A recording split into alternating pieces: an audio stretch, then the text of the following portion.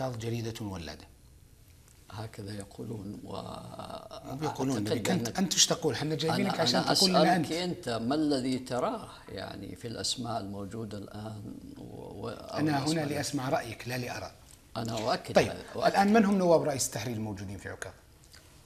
آه هناك ثلاثة أشخاص الدكتور عبد العزيز النهاري والدكتور عثمان هاشم والدكتور سعيد السريحي وهناك عدد من مساعدي رئيس التحرير أيضا وكلهم يشكلون هناك حديث داخل. أروقة آه، مجلس إدارة عكاظ بأن آه، رغبة لدى بعض الأعضاء لإدخال رئيس نائب رئيس تحرير آه، قوي إلى عكاظ ويقال بأن الدكتور هاشم غير متحمس لهذه الخطوة. ليس هذا صحيحا. اولا إحنا نرحب بأي عنصر يدخل إلى عكاظ. آه لكن الشيء المؤكد هو أنك عندما آه تستقبل أي كفاءة ينبغي أن تقدم لك هذه الكفاءة إضافة. خدمة. إضافة. الواقع عندنا من الكفاءات المتميزة من ذكرتهم وآخرين. ومع هذا فنحن نرحب بأي كفاءة متميزة وقادرة على أن تقدم ما لديها أي إن شاء الله. هل أنت مؤمن بسياسة تدوير المسؤولين في آه، أقسام عكاظ؟ يقولون بأن الدكتور هاشم غير مؤمن بأنه يجعل المختص بالثقافة دائما بالثقافة فيجعل رئيس القسم الرياضي بعد فترة في الثقافة واللي بالمحليات بالرياضة. ليس صحيحا. هو التدوير بهدف اكتساب المزيد من الخبرة لكن لا يصل التدوير إلى حد مسؤول رياضي يتولى الثقافة. أو مسؤول ثقافي يعني مو بلازم ثقافة بس يتولى محليات. ممكن. الرياضة يتولى محليات وبدلالة أنه مثلا اللي يمسكهم ملحق النادي ما كانت خلفياتهم كلهم رياضية.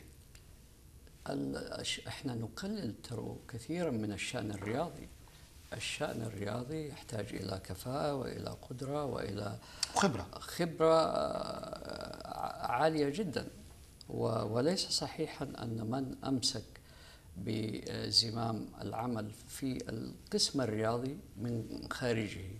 يمكن آه، كلف زميل أو زميلين لفترة معينة عندما آه، ترك أحد الزملاء المعنيين القسم الرياضي لكن أعيد القسم الرياضي إلى من زميل. من داخل أبناء القسم. طيب بس في سي- هالسياسة لكن ما هي بهالشكل موجودة لاكتساب الخبرة في تقدير. السياسة لاكتساب الخبرة وتدوير ال- المواقع لأنك أنت تحتاج إلى أن يلم أي صف ثاني أو أي قيادة بكافة آه، جوانب المسؤولية.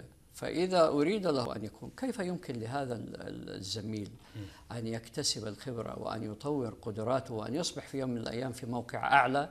إذا لم يكن على علم دراية أنا أستغرب لأن هذه السياسة يفترض أن تكون ميزة لأنها مش موجودة. إلا في عكاظ. ولذلك فأنت أمام صف ثاني قادر على أن يدير الصحيفة من إلى. أي زميل من الزملاء في الصف الثاني على علم بكيف تدار لكن الثقافة مع ذلك هاشم عبد هاشم متهم بأنه مركزي في إدارته الجريدة. أنا رغم ما تتحدث من قدرة الصف الثاني على إدارة الجريدة. هناك يعني يقولون الدكتور لازم يشرف على كل الشغلات اللي فيه ليس صحيحا. هذه مبالغة لأنه كم ساعة تداوم؟ ما معنى؟ كما يدام الآخرين أو أكثر خلنا من الآخرين. إحنا نسألك أنت يا دكتور كم ساعة تداوم؟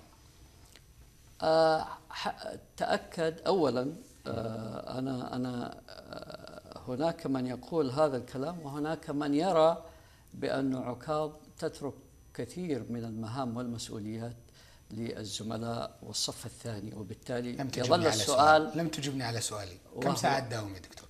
معدل. ثمانية تسع ساعات آه، أو حواليها يعني. طيب آه أنت تقول أن هناك صف ثاني وبأنه آه هناك من يتحدث عن أنه في أقسام يكلف فيها بعض الزملاء رغم أنهم غير جديرين أو لا يجب في هذه المرحلة أن أنا- يكلفوا بها أليس ليس كذلك؟ صحيحا هذا أبدا. أنت تقولي قبل شوي أنه في ناس يقولون أنه الصف الثاني يأخذ مهام أكثر من الواجب. لا. أنا بقول إنه الصف الثاني يدور على مختلف أقسام الجريدة لاكتساب الخبرة حتى يكون جاهزا للتصدي لأي مسؤولية هل لا زلت دكتور هاشم مقتنعا بأن رئيس التحرير يجب أن يجمع بين رئاسة التحرير والإدارة كما فعلت لأكثر من سنة؟ أنا أنا لو لو قلت هذا الكلام لفهم على نحو خاطئ ولكنني أؤكد بأن المركزية بكل ما فيها في بعض الأحيان لكنها قد تكون مفيدة ولا سيما في الجمع بين هذين المنصبين. أنت تستطيع لأغراض التخطيط المركزي الرأسي الكلي أن تستثمر إمكانات المؤسسة وتوجهها وجهة مهنية قبل أن تكون هذه الوجهة لأغراض أخرى بعيدة عن الناحية المهنية. وتستطيع أن توفر مساعدين لهذا الرجل لكن الذي صحيح جميل. لكن الذين يختلفون مع هذا الفكرة يقولون أن أن الجمع بين هذا يعطي صلاحيات مطلقة للشخص الذي يجمع ويطلق يده في ممارسة سطوة كبيرة هناك في هناك لجنة تنفيذية في أي مؤسسة وهناك مجلس إدارة وهناك جمعية عمومية فوق الجميع. ولا أعتقد أن الأمر بهذه السهولة لم يكن رئيس تحرير ولم يكن هناك مدير عام في أي مؤسسة صحفية. طيب آه سنواصل حديثنا بعد فاصل قصير. فاصل قصير أيها الإخوة نعود بعده لمواصلة حوارنا في إضاءات مع الدكتور هاشم عبد هاشم رئيس تحرير جريدة الوكالة السعودية. فابقوا